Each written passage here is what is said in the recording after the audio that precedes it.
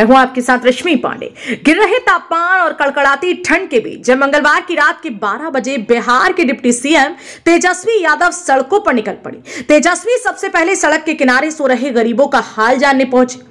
और जरूरतमंदों को कंबल भी बांटे। तेजस्वी यादव को देख कई लोगों को राजद अध्यक्ष लालू प्रसाद यादव की याद आ गई। दरअसल जब लालू यादव बिहार के मुख्यमंत्री थे तो वे भी कई बार अचानक से जनता के बीच पहुँच जाते थे। तेजस्वी यादव से कंबल मिलने के बाद लोगों ने बताया कि पहले लालू जी भी ऐसे ही रात में निकलते थे और गरीबों के बीच जाकर हाल जानते थे। तेजस्वी के साथ पटना के कई इलाकों में लिए गए जायजे के दौरान नगर आयुक्त अनिमेश पाराशर भी मौजूद रहे।